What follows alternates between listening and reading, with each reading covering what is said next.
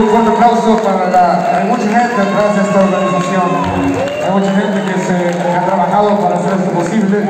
Un aplauso allá para el maestro Moisés Anaya de Adrenalina. Hace, hace, hace un par de años, casi, tuve el honor de, tocar, de compartir escenario con él. Para mí fue como que se me parara con James Hetfield, de adrenalina. Yeah. Así que un aplauso fuerte para Moisés Anaya.